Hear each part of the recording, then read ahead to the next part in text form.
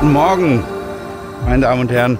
Es ist Sonntag früh und es ist zwar die Sonne scheint, ist alles schön, aber es ist kalt.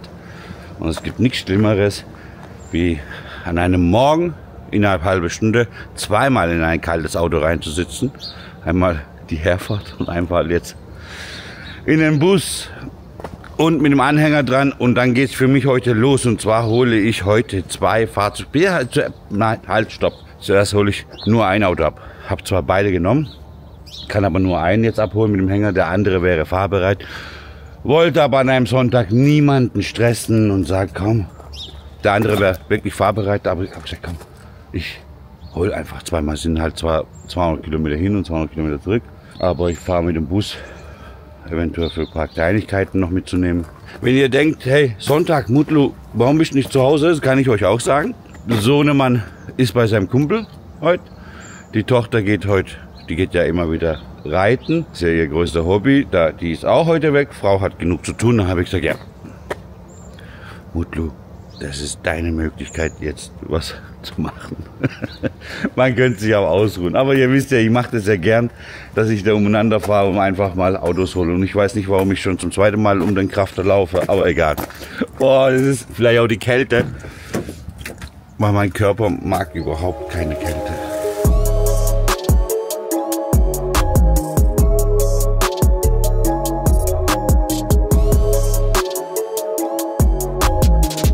So, bin bei Herr Bilgin hier.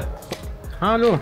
Und zwar ist der Herr Bilgin ist ein Prüfingenieur und Sachverständiger Genau. ähm, hier in Saarbrücken. Ne, Völklingen. Äh, Völklingen, Jawohl. ja. Und er hat halt ein paar alte Schätze noch hier so rumliegen und die gucken wir uns mal an, die er seit Jahren liegen hat und sagt jetzt endlich, jetzt müssen sie weg und deswegen hat er sich bei mir gemeldet und jetzt bin ich hier.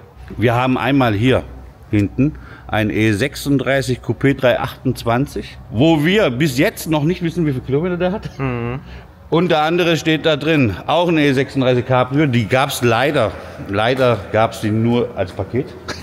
Ich will eigentlich nur den Coupé. Und er hat gesagt, nein. Und dieses Auto hast du seit?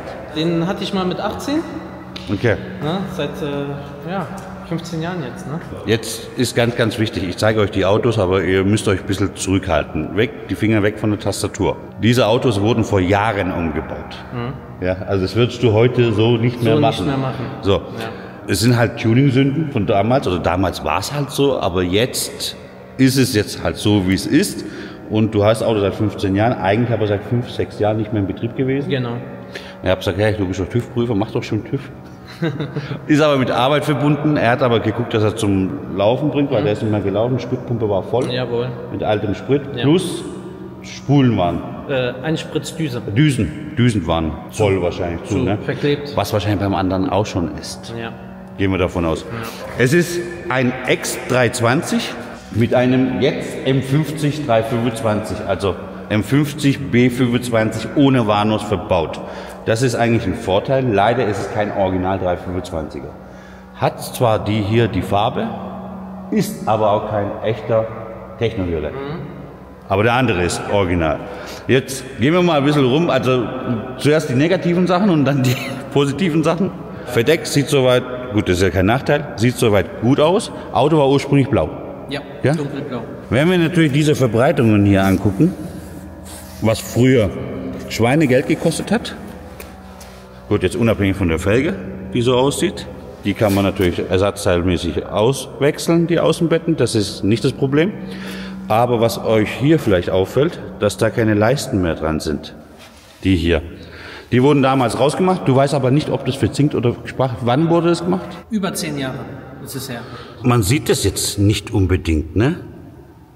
Also wenn es gespachtelt wäre, wäre es eigentlich schon rausgekommen, ne? Natürlich hat er jetzt kein M-Paket, ist clean, hat die wertvollen Scheinwerfer drin, nicht. Böser Blick war damals auch, muss. Muss. Und ist wie gesagt kein M-Paket. Ich sehe hier gerade ein E46 Lenkrad verbaut.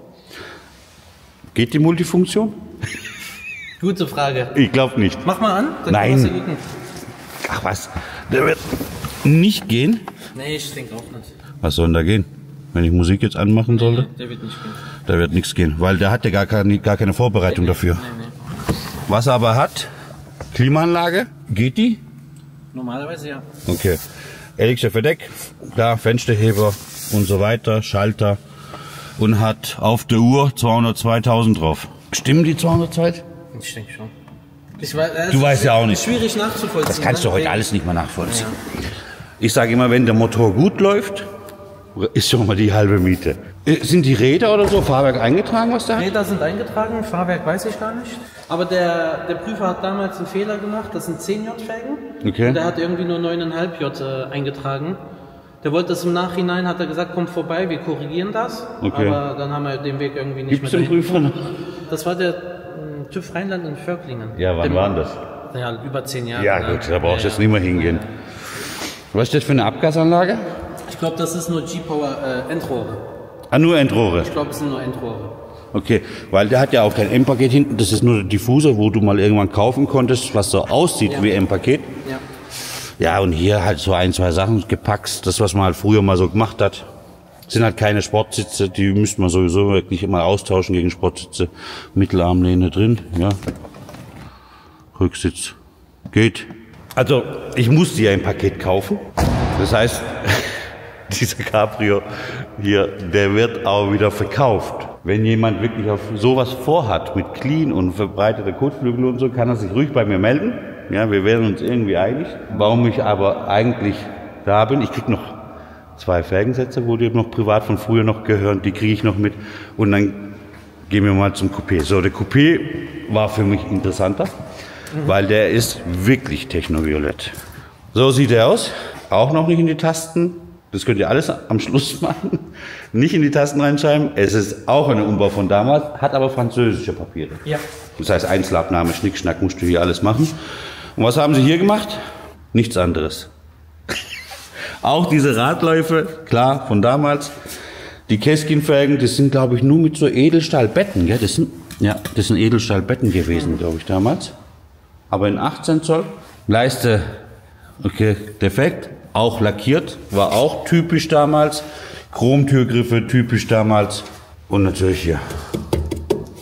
Die beliebten Spiegel, ne? Oh ja. Die wollte jeder haben. Jeder hat sie gekauft. Ja.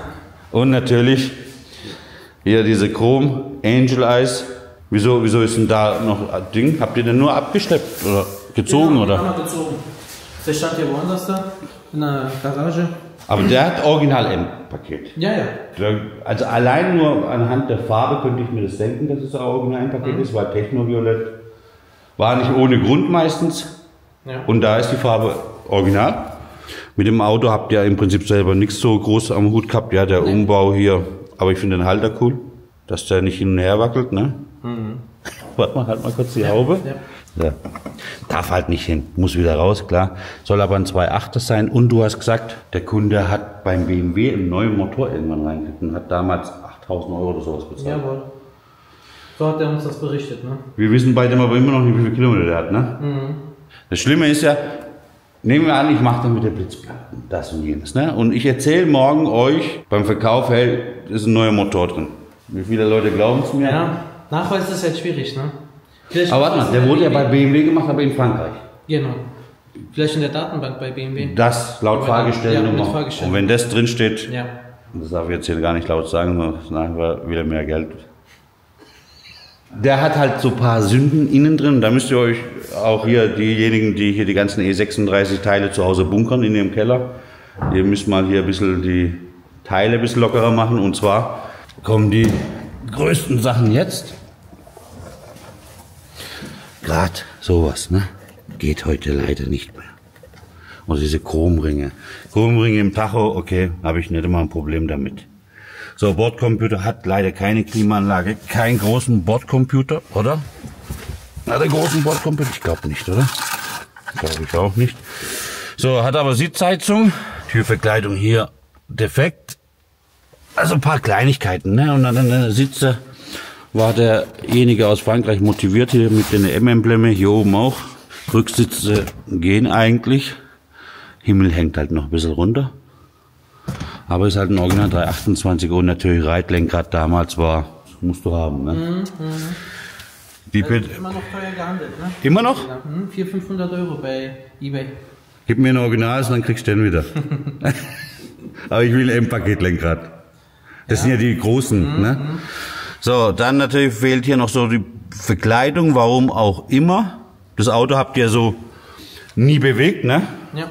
Und ich habe vorher auch mit dem, mit dem Heinz gesprochen, vom, mit dem Rad. Den kennst du ja auch vom Sehen her. Der kann mir diese Radläufe hinten wieder gut machen. An dem Cabrio habe ich gar keinen Bock eigentlich was zu machen. Aber der kann mir die wieder gut machen. Und vorne muss ich halt zwei neue Kotflügel reinmachen, so dass er wieder original aussieht. Und ich würde ihn auch gerne als 328er lassen. Einfach nur frisch machen, schön machen wieder. Ja. Und gut. Aber ein Problem hat er. Hier. Und zwar hat er hier Rost und das geht hier auch drunter. Der hat wahrscheinlich irgendwann mal eine gekriegt oder, oder keine Ahnung, wie das zustande kommt. Die ist halt auch schon 30 Jahre alt. Obwohl, ich glaube nicht immer, dass der schon 30 ist. Der Cabrio, Der ja. müsste 97, 98 sein. Einer der letzten. Und der Cabrio ist aber einer der ersten, weil, 92, glaube ich. ja? Was waren die ersten? 90. Oh, Cabrios kamen ja später. Später. Das haben die mich schon mittlerweile reingeschrieben. Also in Kommentare steht schon drin. Coupés gab es auch erst später. Zuerst kamen die Limos und dann Coupé, Cabrio und Wann dann Touring. die, wann kamen die ersten Limos? 90. 90. Ja, 90, Anfang 90, 90 glaube ich war das. Und da war halt damals ein 325er mit Lederausstattung. Boah, ne? Was sagst du, was ist da drin? Nichts. Wahrscheinlich nichts. Naja, Wirklich nichts. naja. Doch, für Schiebedach. Imbus. Für Schiebedach. Ja, aber sonst im Großen und Ganzen habe ich jetzt mal da drunter geguckt. Wir, wir könnten jetzt auch auf die, auf die Bühne fahren und eigentlich, kannst du denn da nicht dann TÜV machen, wenn da alles in Ordnung wäre? Theoretisch ja. Heute nicht. Nee, klar. Aber theoretisch könntest du mir, wenn alles in Ordnung ist, aber den kannst du nicht mal fahren, dann könnte man nicht mal eine Abgasuntersuchung machen, weil wahrscheinlich auch Pumpe alles bei dem festsitzt. Und da ich einen schönen Coupé haben wollte, finde ich den als Basis jetzt. Man könnte auch einen nehmen, der weniger Arbeit hat an der Karosse, ja. Aber dann wiederum schwierig in Technoviolett. Ja. Viele feiern das, dass ich mich jetzt auf die Farbe einlasse und nicht schwarz mache. ja. Mal was Neues. Ja, für mutlos schon. Und was für Abgasanlage? Oh, das ist auch Originaltopf. Ja. Auch nur Blende? Ja, ist glaube ich nur Blende. Ja, ja. Das ist ein Originaltopf, so wie es aussieht. Ich würde gern sehen, also wir haben schon alles safe gemacht, nur, dass wir noch nicht wissen, wie viele Kilometer der hat. Soll ich mal Batterie bringen? Ja, dass wir den manchmal überbrücken. Was ist, wenn der jetzt 100 hat? Wird er nicht haben. Ich weiß es nicht. Was ist, wenn er 300 hat? Also wenn er, wenn er 100 hat, werde ich mich ärgern. Du weißt, dass er nicht 100 hat. Ich weiß es nicht. Wirklich. Also ich glaube, dass der Das wird jetzt eine Überraschung sein für uns. Er weiß nämlich echt nicht. Ich denke, dass der so 260.000, 270.000, aber wenn der einen neuen Motor gekriegt hat, ganz ehrlich, und du hast einen 328er zerlegt, den 2.8er Motor zerlegt, dass du einen neuen Motor kriegst, gibt es nur einen, in meinen Augen nur einen einzigen Grund, warum der Motor kaputt war oder Öl verbraucht hat wahrscheinlich oder sonst was, wenn du ihn kalt gegeben hast. Ja. Das weiß ich von meiner Frau, weil sie hat auch immer gesagt, der 328er geht am besten, wenn er kalt ist. Früher. Das gucken wir jetzt aber, warum, wieso, weshalb. Dann gucke ich nat- natürlich auch eine, bei BMW in die Historie, ob vielleicht wirklich was nachvollziehen ist. Seit wann steht er? Seit wann ist er abgemeldet? Acht bis zehn Jahre. Echt? Ja. Seitdem auch nicht gestartet? Nee, Okay, mit der Großbaustelle.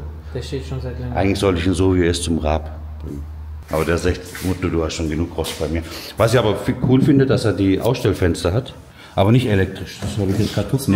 glaub ich. Nee, nee, die sind nicht elektrisch. Die gibt es, glaube ich, elektrisch oder irre ich mich. War es nur beim E46 so? Nein, E36 gab es auch elektrisch. Schreibt mir rein, ihr wisst es besser. Manuell kannst du die aufmachen. Sieht halt fett aus, wenn du schöne Räder hast, ne? die Flügel ausgestellt. Aber was ich feststellen muss, und das wird wahrscheinlich wieder was Teures hier, diese ganzen Dichtungen. Ja, die müssen einmal gemacht werden. Ja. Also typisch Cabrio, weil sich auch da immer viel arbeitet hier. Ne? Immer dieses hoch, runter, hoch, runter. Wir machen das jetzt so, wir holen mal einen Akkupack und dann probieren wir mal, also nicht starten, sondern nur mal gucken, wie viele Kilometer der hat. Vielleicht hört man auch die Pumpe dann. Vielleicht. Gucken wir mal. Der da hinten, der 335 Diesel, Diese. der ist zu verkaufen. Der ist zu verkaufen. Der wurde umgebaut für die Rennstrecke, für Viertelmeile-Rennen Keine Zulassung. Keine Zulassung. Keine Zulassung. Ja. Steht auch schon eine Weile, oder? Hm, Seit äh, sechs Monaten. Ich blende nochmal die Adresse hier ein, falls jemand Interesse dran hat. Der ist komplett gemacht. Komplett gemacht. TTH Turbolader, 50D Einspritzpumpe, Ladeluftkühler, halt alles, was man für die Rennstrecke braucht. Ne? Viertelmeile-Rennen. 335 Diesel, was hat der an Leistung jetzt so? So 440 PS, 900 Newtonmeter. Okay. Ne? Aber wie Ah, gesagt, ohne ne? Straßenzulassung, wirklich nur für Viertelmeile-Events. Ne? Außer er rüstet zurück. Klar, dann, ne, das ist dann. Aber nicht Downpipe und so auch? Äh, DPF ist äh, umgebaut für die Leistung. Ne? Okay, okay, Ja. muss ja. Ja. Aber, aber ist eine Sonderfarbe? Das ist eine Sonderlackierung, original vom BMW. Ja. Ne? Gab es, glaube ich, auch nur zweimal in Deutschland. Ne, du kannst das mal. Ist es auch? Ich weiß nicht. Ich weiß nicht, also hier ist zu. Es sind auf jeden Fall Felgen vom Nachfolger drauf, ne? Ja, die sind vom aktuellen M4. Hier ist Äh, Na Nachfolger. Äh, ist Nachfolger die F- F-Reihe. Der Nachfolger von dem ist, die- ist F-Reihe, ja. Guck mal da, da kannst du mal reinhalten. Da steht Sonderlackierung. Ja. Sonderlackierung. Und was sind das für Farbe? Das sieht ja so beige, gell? So. ja. Das war äh, damals auch ein Mitarbeiter vom BMW, wo das Fahrzeug gefahren ist. Ich glaube ein Ingenieur. Was hat er einen Kilometer? 250 ungefähr. Aber ich glaube, das Ding marschiert gut, oder? Das Ding geht richtig gut, ja. Wie viel? 450 PS. Ja. 440. Er ist der 335 Diesel. Genau. Was für ein Baujahr ist das? 2,8 oder 2,9? So in dem Dreh. Dann ist es. Vorfeld. Ich weiß es gar nicht, darf ich gar nicht groß eigentlich da, dazu reden. Soweit ich weiß, sind die doch die mit Doppellader dann, ne? Genau, Doppellader. Ein kleiner, ein großer. kleiner, ein großer. Okay. Aber die Motoren sind eigentlich so gut. Das, also die sind ja im E60 und so verbaut. Mhm. Die Daher weiß ich. Die laufen. Also wenn jemand für eine Rennstrecke ein Auto braucht, ein Coupé sieht gut aus, Sonderfarbe und nicht immer von der Rennstrecke runterfahren muss, um zu tanken, weil mit dem Diesel kommst du weiter. wie, viel, Kilometer? Wenn du jetzt Piano fährst, fährst du immer noch deine 1000 Kilometer, oder? Also früher im Originalzustand ist, äh, wurde der mit 7 Liter bewegt, ne? Okay. Ja. Also Den fast, also 900 Kilometer, Ja, ne? ja, je nachdem, ja, was für ein Tank. 900 bis 1000 Wir Kilometer. lassen jetzt ein bisschen, paar Liter mehr schlucken.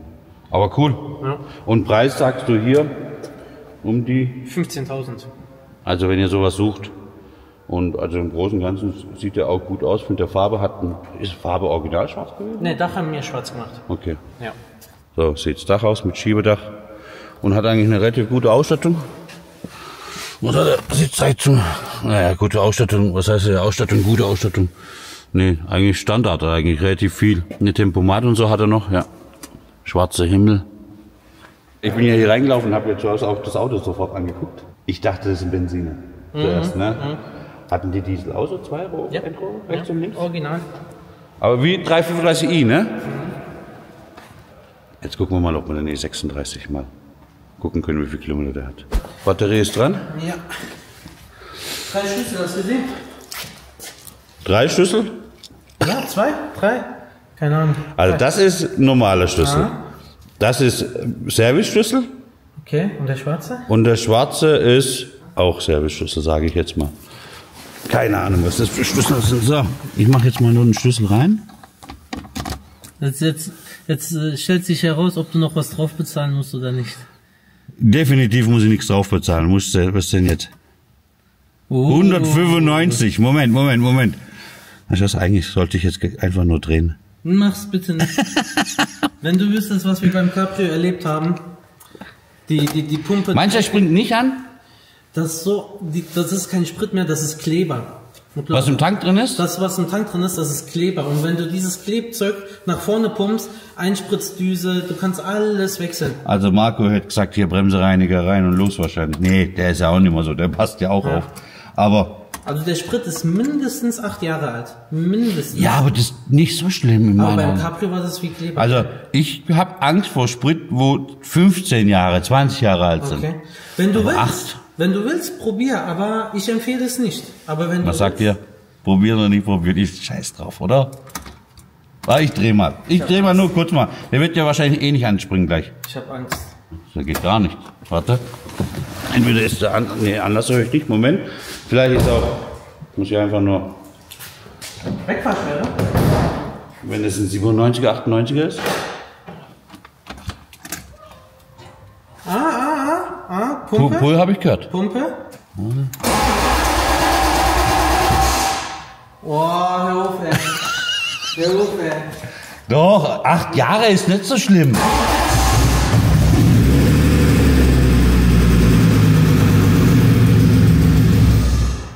Gibt's nicht.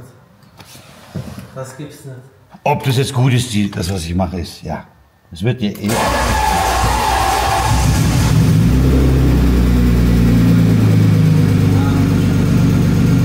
Wir wollten den nämlich auf den Anhänger draufschieben gleich. Gut, er geht jetzt aus, klar.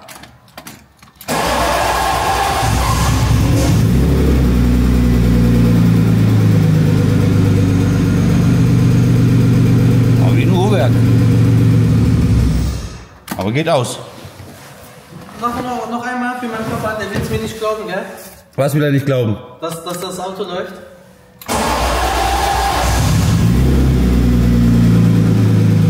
Der läuft gut. Wahnsinn. Aber der geht halt nach einer Weile wieder aus. Ja. Mal. so hätte ich jetzt nicht gedacht, gell? Jetzt machen wir mal so. Du startest nochmal, Schmidt, und ich guck mal Schmidt nur hier rein.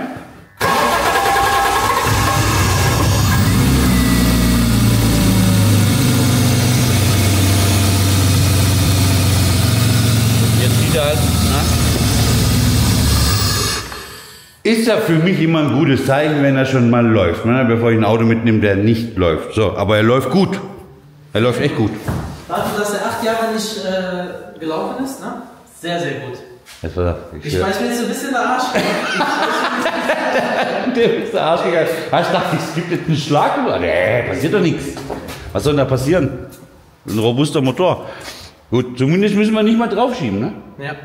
Können wir fahren? Ja, können wir fahren. Ich würde da jetzt ungern noch Gas geben, das will ich jetzt nicht, aber irgendwo zieht er falsch drauf. Ich würde nochmal vorsichtshalber, ich will ihn auch nicht warm laufen lassen, das machen wir jetzt nicht. Trotzdem kommt alles raus und wird frisch Ja, gemacht. ja. Einmal komplett. Herr Raab, haben Sie Lust auf das Ding? Wenn ich wegen der Karosserie reden muss, kann er auch über den Rest machen, ne? Der Herr Raab liebt sowas. So alte Sachen wieder in Leben zu Auf wecken. Vordermann bringen, ne? Obwohl das jetzt nicht so alt ist, ne? Aber, Ja. ne, jetzt gucken wir mal. Schönes Ne? Projekt, denke ich mal. Wenn der dann später fertig ist, dann wird der richtig schön dastehen. Ne? Technologie. Aber dafür, bis dahin geht noch viel. Ein bisschen. Gut, aber da, man muss es dazu sagen, wen, ne, natürlich gerade vorhin auch drüber gesprochen, es geht Geld rein, aber, aber man sieht natürlich auch hinterher, was gemacht ist. Und wenn ich natürlich durch die Historie jetzt auch nochmal etwas mitkriege, was sinnvoll ist, ne, wird nie diesen Wert haben, wie aus erster Hand. Ja. Der 28er, keine Ahnung, 30 Jahre im Besitz von, von einem Opa ja, und, und hat 250 Glauben von mir aus, wird nie diesen Wert haben, weil auch keine Klimaanlage. Er hat gesagt, kannst nachrüsten, klar, wenn man das machen will. Wenn einer will. Nee, aber ich lass so. Also mach hier die Fenster auf hier, hier runter, schiebe das auf, Musik an im Sommer, fertig. Wer braucht Klima, gell? Ein Coupé. Sag ich jetzt mal. es. Also stehst du im Stau und in der Türkei oder so. Jetzt macht er mir wieder Angst. Wegen gesagt, komm, jetzt Hänger positionieren, dass wir dann äh, rausfahren, dann sagt er, geht die Kupplung. Probier mal. Warum? Ja, nicht, dass da Luft im System ist. Ja, wird er nicht haben. Glaub mir. Boah, ist der hart. Oh, Kupplung kommt nicht mehr. Ah, da ist Luft im System. Guck mal ein paar Mal. Oh, komm ich gar nicht durch. Mach mal mit laufendem Motor. Ja, das bringt dir nicht mehr. Mal-. Boah. Mach ja schon Pedaillerie rum.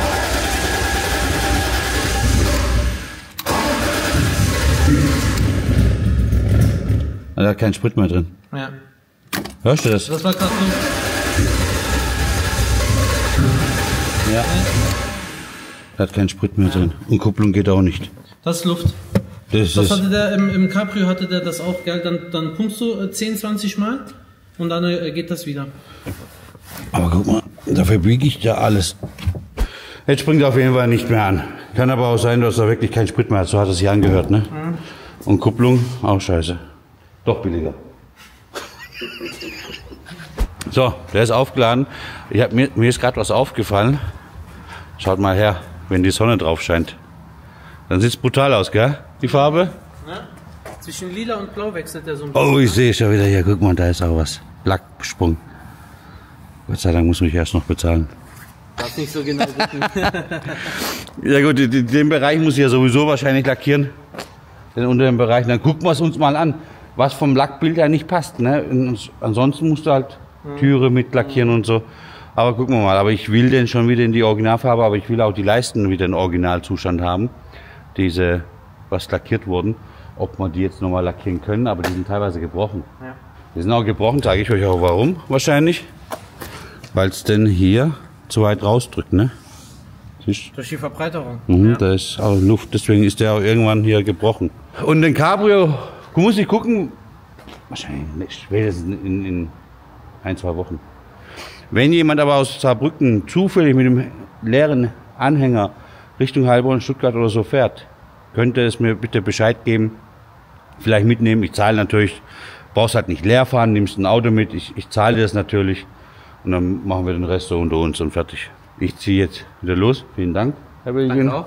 Wir sehen uns nachher nochmal. Bis dann. Ich wollte eigentlich gehen. Jetzt ist er motiviert und sagt, starte doch mal den anderen auch mal. Ja, muss ja wissen, was du kaufst. Ja, ja, aber mir war ja wichtig, dass der andere startet. Oh, Schaltwegverkürzung. Junge, Junge. Und bei dem war die Kupplung auch so? Ja, aber nach 20 Mal pumpen ging das dann, ne? Nee. Batterie leer. Egal, ich weiß ja, dass der.